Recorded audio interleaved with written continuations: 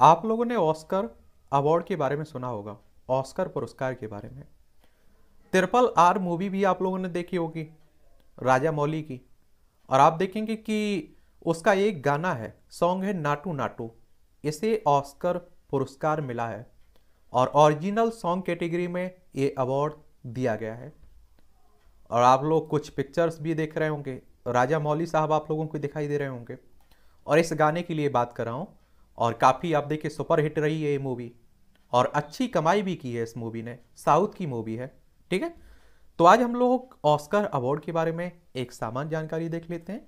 अभी तक जिन भारतीयों को दिया गया है, उन भारतीयों के बारे में भी बात कर लेंगे। तो आप लोग देखेंगे कि ऑस्कर अवार्ड की अगर शुरुआत की सफ़र देखें तो ये बात है 1927 की। कहते हैं कि जब एम जी एम स्टूडियो के हेड लुइस बी मेयर और मेयर और उनके तीन guests actor Conrad Nagel director Fred Niblo और एक थे प्रोड्यूसर फ़ीड वीटसॉन ने।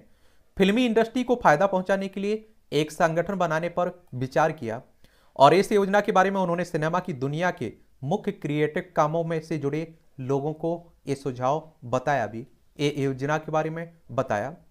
फिर कहते हैं कि एक होटल में डिनर पार्टी होती है एक खबर कब की है?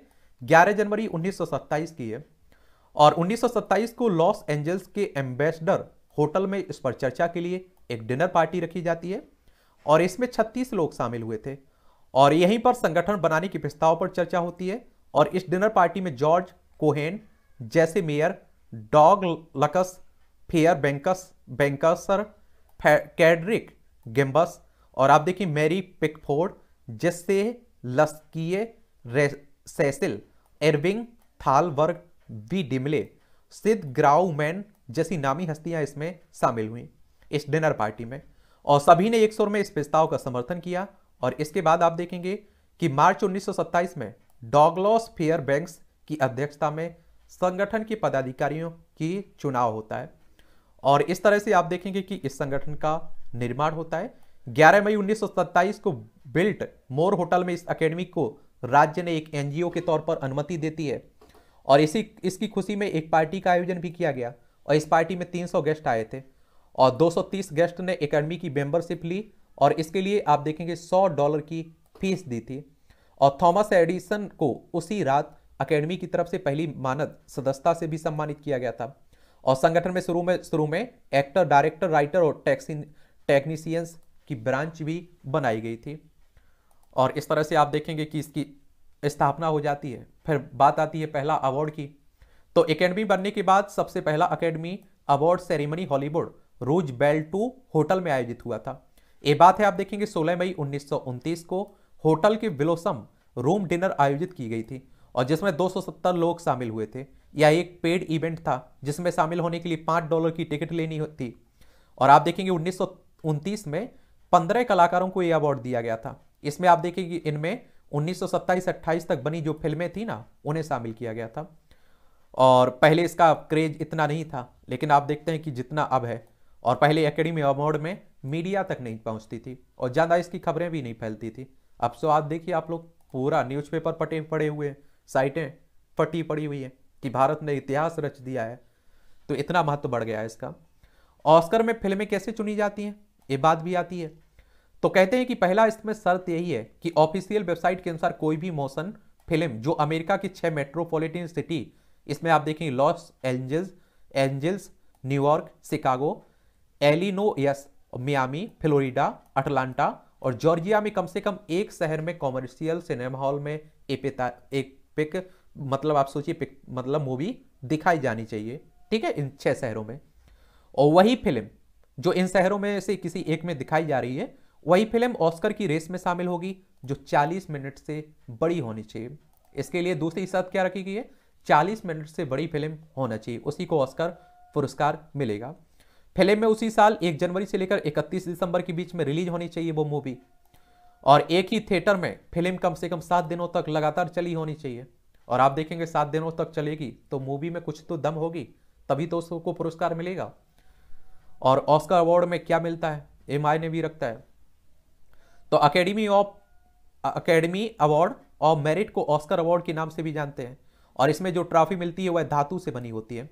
और इस मूर्ति पर गोल्ड की लेयर रहती है। ऑस्कर ट्रॉफी तेरह दशमलव पाँच इंच यानी कि आप देखेंगे चौंतीस सेंटीमीटर लंबी होती है।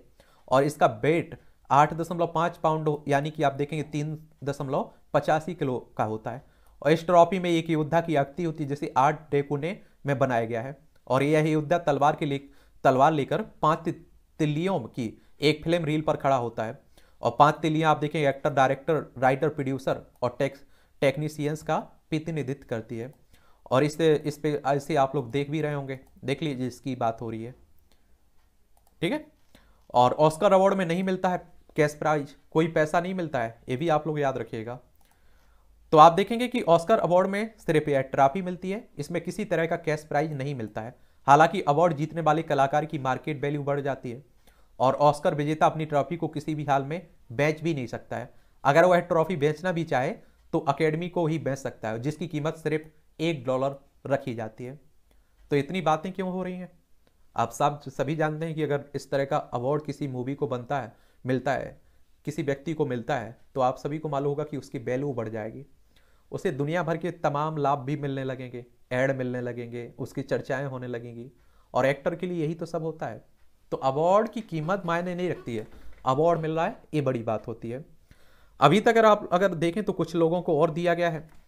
पाँच भारतीयों ने अलग अलग श्रेणियों में जीते हैं ऑस्कर अवार्ड ठीक है? और इसमें सबसे पहले अगर हम लोग बात की जाए तो आप देखें भानु अथैया का नाम आप लोगों ने सुना होगा। ऑस्कर जीतने वाली पहली भारतीय थी कॉस्ट्यूम डिज़ाइनर भानु अथैया, जिन्होंने साल उन्नीस में आई फ़िल्म गांधी के लिए जॉन मोलो के साथ मिलकर कॉस्ट्यूम डिज़ाइन किया था और इस कैटेगरी में उन्हें यह सम्मान मिला था। दूसरा नाम आप लोगों ने सुना होगा, सत्यजीत रे का। और उन्नीस में दिग्गज फ़िल्म मेकर सत्यजीत रे दूसरे भारतीय थे, जिन्हें ऑस्कर अवार्ड से सम्मानित किया गया था। उन्हें honorary lifetime achievement का ऑस्कर अवार्ड दिया गया था। हालाँकि अवार्ड लेने वो नहीं पहुँचे थे, जिसके बाद उनके कोलकाता भिजवा दिया गया था उस अवार्ड को। फिर एक नाम आप लोगों ने सुना होगा रेसुल पोकुट्टी। और साल 2008 में आई फ़िल्म इस, इस्लम डॉग मिलियनियर के लिए बेस्ट साउंड मिक्सिंग कैटेगरी का ऑस्कर रेसुल पोक्की को आप देखेंगे पुरस्कार दिया गया था। और इस फ़िल्म ने तीन ऑस्कर अवार्ड जीते थे। इसमें आप देखेंगे ए आर रहमान का नाम भी शामिल है। और इसी मूवी में ये आप देखेंगे इस्लम डॉग मिलीनियर में दूसरा अवार्ड था ये। म्यूज़िक और सॉन्ग देने वाले ए आर रहमान को दिया गया था। और उन्हें बेस्ट म्यूज़िक कैटेगरी में ऑस्कर अवार्ड से सम्मानित किया गया था। और इस फ़िल्म का पॉपुलर गाना था जय हो को ए आर रहमान ने ही गाया था। गुलजार इन्हें भी दिया गया था। फ़िल्म इस, इस्लम डॉग मिलीनियर में जय हो सॉन्ग के गीतकार गुलजार को फ़िल्म का तीसरा ऑस्कर अवार्ड मिला था। ऑस्कर सेरेमनी में वह भी नहीं पहुँचे थे जिसके बाद यह अवार्ड उनकी टीम ने ले लिया था। तो ये भी याद रखिएगा। और इस तरह के अवार्ड के बारे में एक सामान्य जानकारी आपको होनी चाहिए। अगर आप लोग किसी एग्ज़ाम की तैयारी कर रहे हैं तब तो आप लोगों से क्वेश्चंस भी पूछा जा सकता है। और वैसे भी चर्चा हो रही है तो मुझे लगा कि हमें भी चर्चा कर लेनी चाहिए इस पुरस्कार के बारे में।